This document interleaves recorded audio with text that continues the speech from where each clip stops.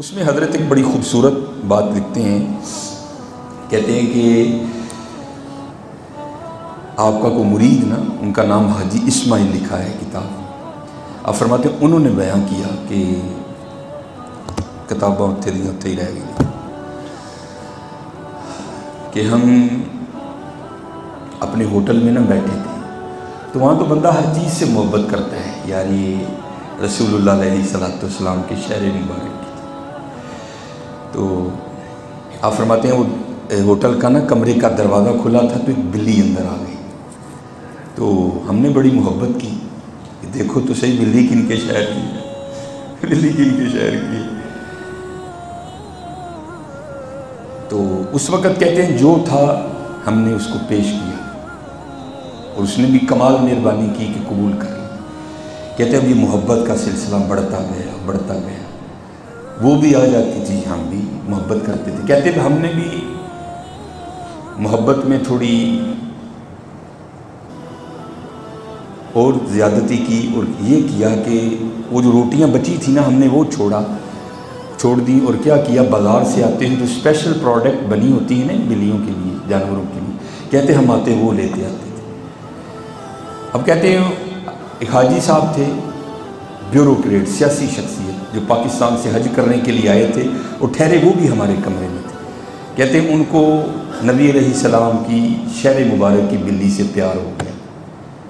और प्यार भी इतना सख्त हुआ, उन्होंने इरादा ये किया कि जाते हुए ना, इसको साथ लेके जाना है पाकिस्तान। अमीर आदमी थे, सियासी शख्सियत थी, उनके लिए क्या मुश्किल था? पी आई ए से कागज़ी कार्रवाई, मुकम्मल करवाई सऊदी हुकूमत से इजाज़त ली, और बिल्ली के लिए ना, एक बड़ा खूबसूरत सा पिंजरा तैयार करवाया। कि बस जी जिदन फ्लैट है, बिल्ली पाकिस्तान कट दी ना ये हजूर के शहर पाक की बिल्ली है। तो जो मदीना पाक जाने वाले हैं ना, उनको पता है कि आने से पहले ना, नबी सलाम की बारगाह में आखिरी सलाम पेश करके आते हैं। या रसूलुल्लाह सलाम, नौकर चला जाते हैं, सलाम कबूल कर कहते हैं, वो हाजी साहब भी गए, आखिरी सलाम कहने। तो आखिरी सलाम करके जब बाबुल बकी शरीफ से बाहर आए ना तो मंजूर अहमद शाह साहब लिखते हैं उसमें कि वो जो सियासी शख्सियत थी ना, हाजी साहब, नींद ने बड़ा गलबा किया। और नींद इतनी शदीद थी कि एक कदम उठाना भी मुश्किल हो गया। तो क्या किया? वहीं बैठे मस्जिद नबी शरीफ की दीवार के साथ टेक लगा के ना तो सो गए। जब ये बंद हुई तो अंदर की खुल गई। देखते क्या हैं? कि आका करीम सलाम की बारगाह में हाथ बांधे खड़े हैं। हजूर की बारगाह में सलाम पेश किया। और नबी सलाम आगे से क्या फरमाते हैं? ओ हाजी, वो तू जिस तरह खैरियत से आया था ना, अल्लाह तुझे खैरियत से ले भी जाए। और हाँ एक काम करना, मेरी बिल्ली ना लेके जाना।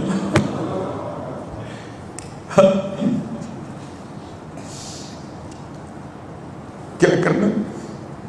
मेरी बिल्ली ना लेके जाना कहते, मैंने ख्वाब ही में अर्ज़ की, है का करीम सलाम।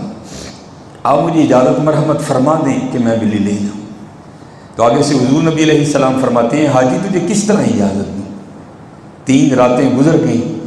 सारी रात बिल्ली बाहर बैठकर रोती रहती है और साथ ही अर्ज़ करती रहती है ए आका करीम, करम फरमाए, मदीना छूट रहा है। हाय हाय जो बिल्लियों को भी इतना नवाजते हैं, तुम्हें और मुझे नहीं नवाजेंगे। लेकिन हज़रत, बात यह है कि पक्का होना पड़ेगा पहले।